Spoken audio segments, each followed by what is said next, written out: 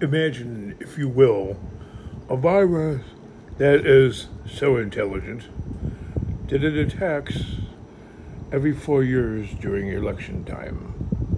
Dr. Jill Biden has come down with the Zozid that you need the million different Jabarutskis.